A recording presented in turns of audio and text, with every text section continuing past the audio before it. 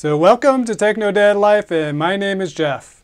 And I'm making this video to help prevent you from having some of the same difficulties that I had and to help you have the best smart home possible at the best benefit to cost.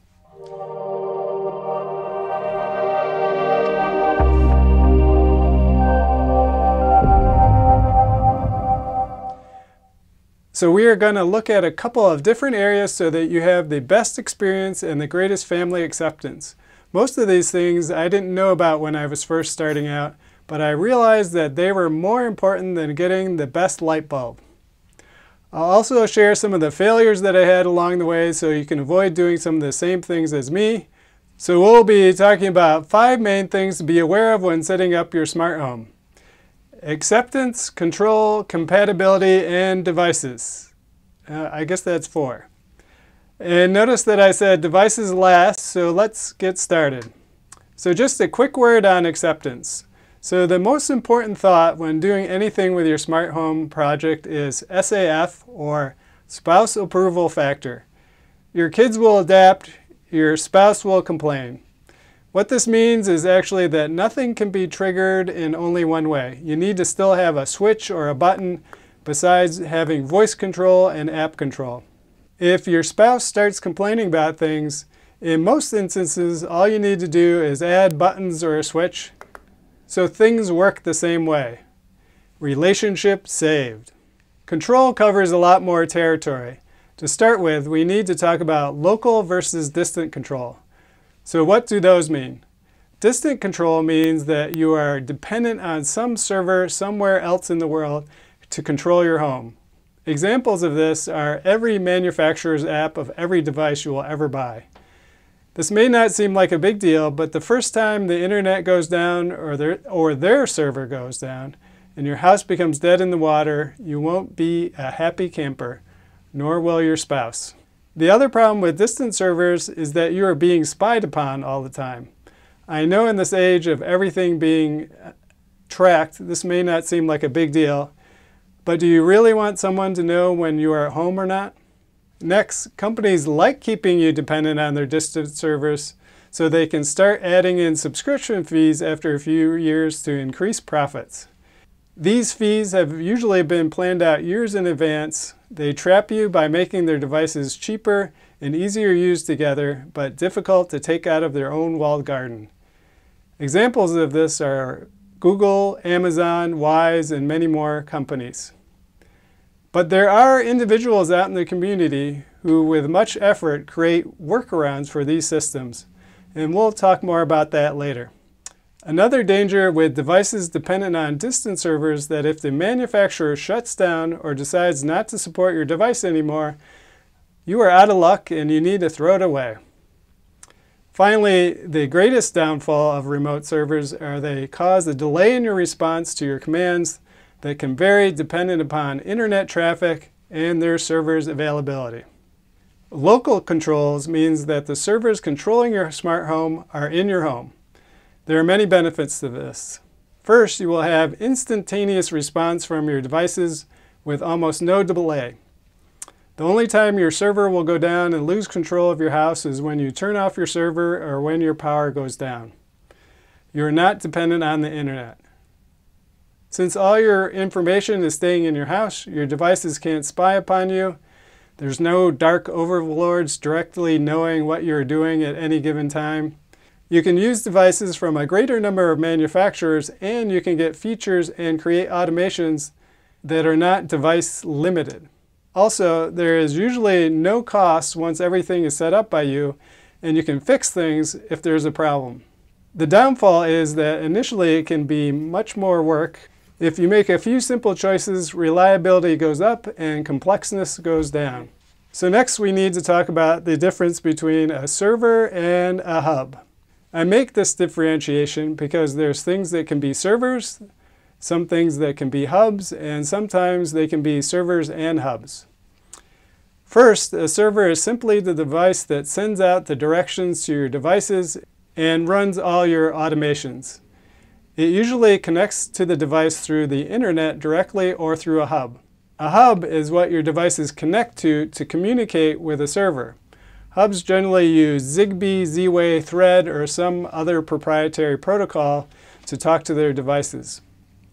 Many manufacturers use hubs to connect their devices to their distant servers or HomeKit if this is enabled. Some hubs can be hacked to work directly with your server. Hubitat is an example of a combination server and hub because it has the Zigbee and Z-Wave radios built in. Hubitat is a great way to combine devices from different manufacturers to one hub if you have already purchased a multitude of devices. So let's take a look at three choices for our local servers. We have HomeKit, Hubitat, and Home Assistant. HomeKit is the natural choice if you're already invested in the Apple ecosystem. You just need a recent Apple TV, a HomePod, or an iPad to act as your server. If you have a HomePod mini, that's probably the best choice at the moment because HomePod minis have built-in Thread support, and Thread is the new smart device communication standard that industry leaders like Google, Amazon, and Apple have agreed to use heading forward, and should get rid of compatibility issues in the future. HomeKit is also the easiest to set up. If you buy a HomeKit-enabled device, you just turn on the device, then scan your code, and it will appear automatically in HomeKit. I would also say HomeKit meets SAF or spouse approval factor. If your spouse already uses an iPhone, then they already have the app on their phone to control the house, designed in a way that are, they are used to. If you also have a HomePod, then they will already know how to ask your smart home to do things. HomeKit also has a huge support community on Reddit, so it's very easy to find answers to common questions. Finally, you can integrate non-HomeKit devices using HomeBridge, which is different than Home Assistant, or Hoobs, which is the easy version of HomeBridge. Both run on a Raspberry Pi. HomeBridge offers a compatibility layer that, so that devices that are not compatible, such as the Ring doorbell from Google or an Amazon Alexa, to work with HomeKit. So yes, you can make your Amazon device control your HomeKit devices. HomeBridge connects to Wi-Fi devices directly.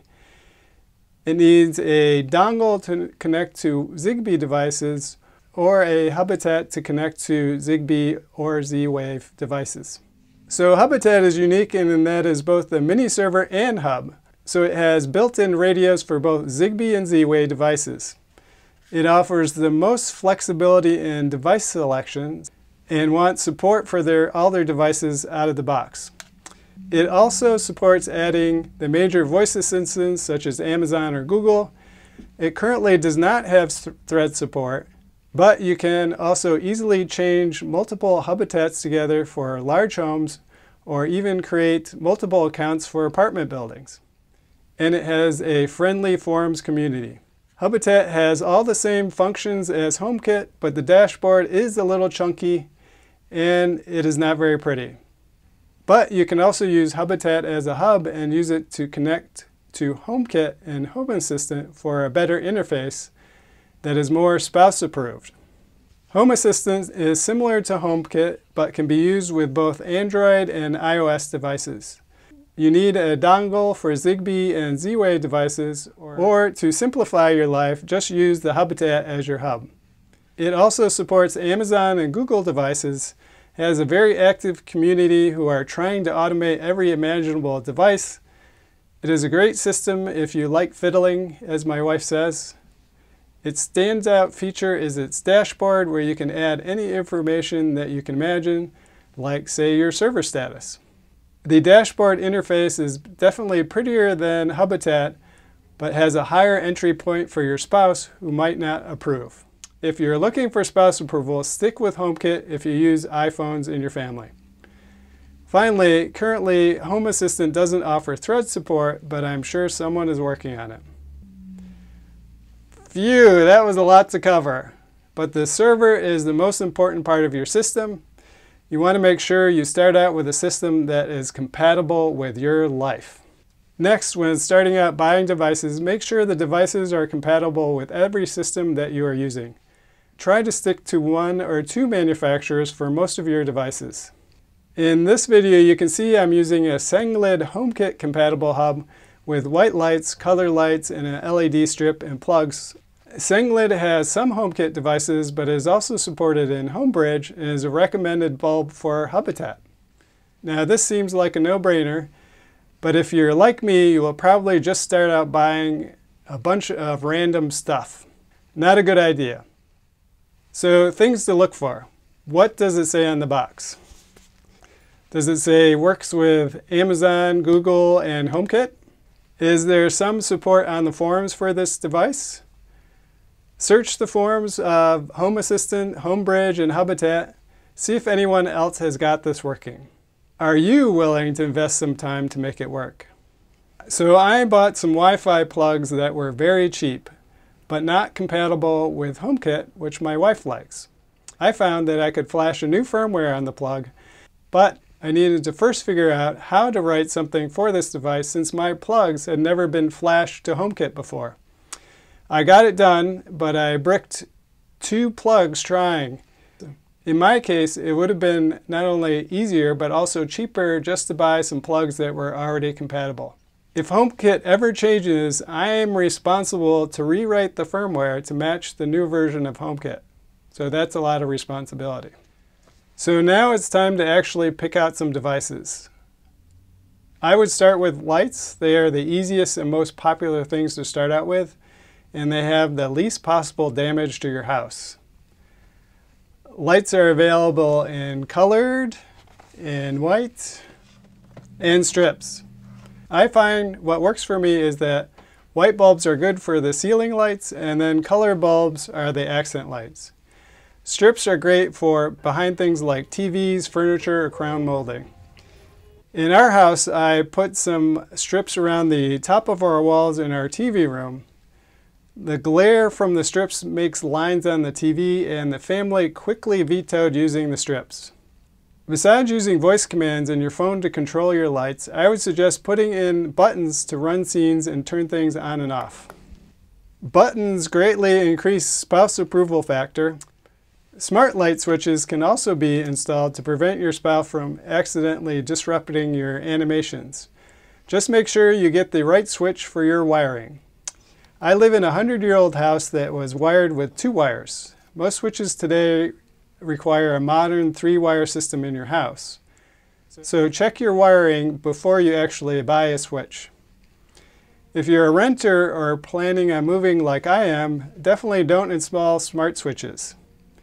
Instead, just rely on your voice assistant and a few buttons. It is a pain installing things and then uninstalling them again. For light switches, I've tried a few and I would recommend the Lutron Caseta switches.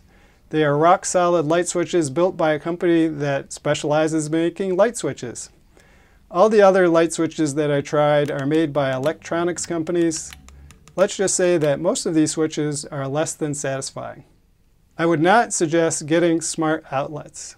You need flexibility because you will want to move things around in your home, so stick to smart plugs.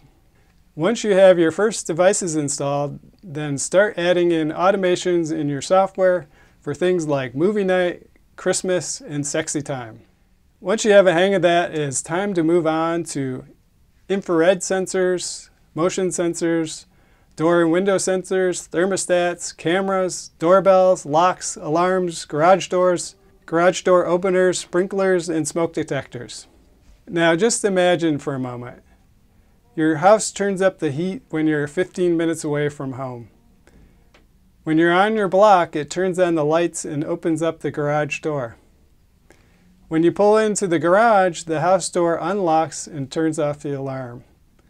You walk in the door and a speaker says, Welcome home, good looking. Let me know what you want to do or what you do with your smart home in the comments down below.